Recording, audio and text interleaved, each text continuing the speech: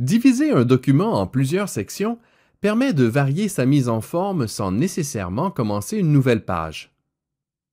Dans notre exemple, nous utilisons la version Word 2010.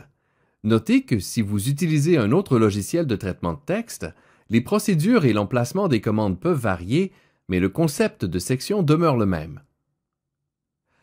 Dans tous les cas, la création de sections permet, entre autres, de modifier le nombre de colonnes sur une même page, ou d'avoir des entêtes ou des pieds de page différents d'une page à l'autre, ou encore de modifier la taille et l'orientation du papier sur une page particulière. Les chapitres de ce rapport doivent commencer sur une page impaire. Placez votre curseur en début de chapitre, puis repérez l'onglet Mise en page. Cliquez sur la flèche de la liste de sauts pour accéder aux commandes des différents sauts de page et de section, puis sélectionnez le saut de section Page impaire. Le premier chapitre se trouve maintenant au début d'une page impaire et d'une nouvelle section. Pour visualiser le saut de section, accédez à l'onglet Accueil, puis cliquez sur le bouton Afficher tout.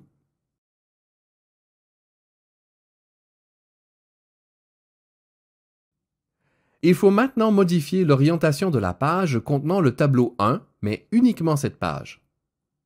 Pour ce faire, vous devez planifier trois sections. D'abord, une section en mode portrait avant la page contenant le tableau, puis la section en mode paysage, et finalement les pages suivantes en mode portrait. Placez le curseur devant le paragraphe précédant le tableau, puis insérez un saut de section Page suivante. Pour mettre la page en mode paysage, cliquez sur le bouton Orientation, puis sélectionnez Paysage.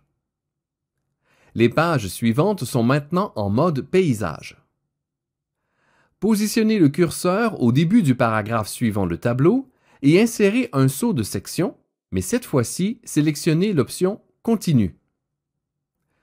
Toujours dans le groupe Mise en page, cliquez sur le bouton Colonne et sélectionnez 3. Le texte est maintenant en trois colonnes du tableau jusqu'à la fin.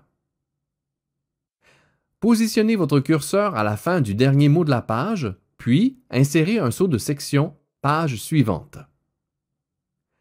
Cliquez sur le bouton Colonne pour sélectionner l'option à une seule colonne, puis sur le bouton Orientation pour sélectionner le mode Portrait. Cette dernière section est maintenant en mode Portrait sur une seule colonne. Comme vous l'avez vu, la maîtrise des sauts de section est indispensable à la mise en forme soignée et d'allure professionnelle de tous vos longs documents.